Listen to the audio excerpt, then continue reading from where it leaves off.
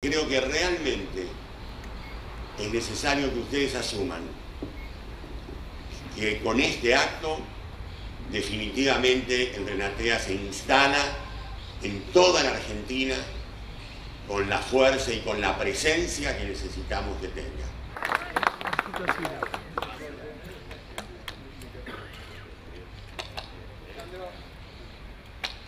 Por la provincia de La Pampa recibe el delegado Luis Cervellini.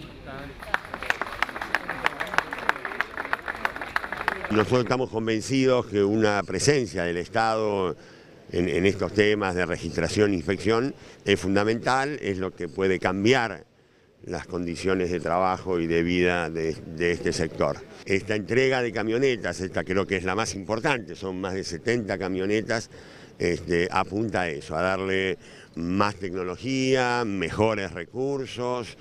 Nosotros no somos de los que creemos que es bueno que haya un Estado débil o un Estado mínimo. Nosotros estamos convencidos de que esta presencia del Estado a lo largo y ancho del país, como hace el Renatea, es lo que nos va a permitir un, mejor cumplimiento de las leyes y por lo tanto una mejora en, las condiciones. No existía la infraestructura necesaria como para cubrir las actividades que realizamos. En función de esto, hoy se están entregando 71 camionetas de distintas características a las 25 delegaciones, a las 25 instancias que hay a nivel nacional. En los últimos dos años eh, se han otorgado 232.000 libretas de trabajo, quiere decir se ha tenido contacto con 232.000 trabajadores, de las cuales 101.000 han sido nuevas libretas, quiere decir trabajadores nuevos.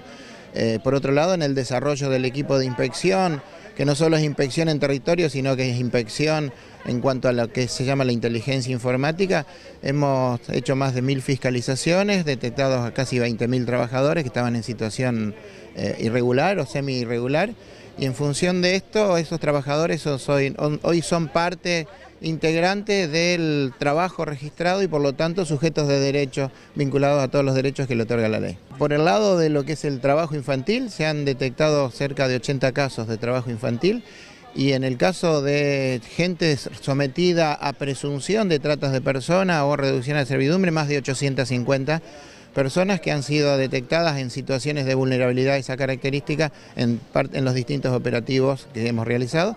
Y como bien decís, con el, tema de la Fiscalía de Estado y el tema del Ministerio de Justicia, tenemos convenios y trabajamos articuladamente, trabajamos permanentemente, porque cada vez que nosotros detectamos situaciones de trata o presunción de situaciones de trata, nos convertimos en denunciantes y aportamos todas las pruebas correspondientes para que actúe la justicia.